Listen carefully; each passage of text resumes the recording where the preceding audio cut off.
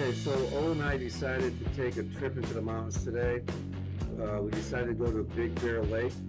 It's uh, roughly about 6,700 feet above the sea level, and uh, the roads are very winding, and some of the areas are so twisting it's pretty scary. I thought sometimes I was going to fall off the side.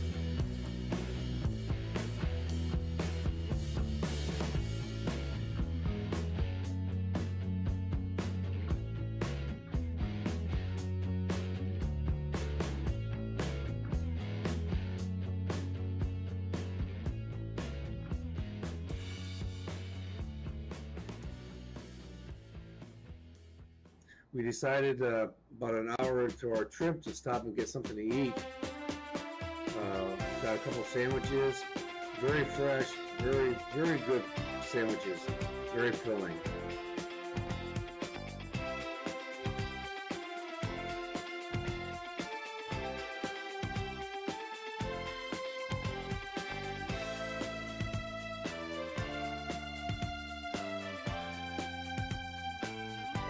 We got to Big Bear Lake, the city itself uh, was was amazing. Uh, many people, many things going on, many restaurants, bars, gift shops, ski resorts, uh, many things people can see. When we got to the lake, we saw that they had all these uh, big ferries, boats that people take rides in, tourist boats, uh, a lot of personal boats. People love to take their boats out into the, uh, the lake.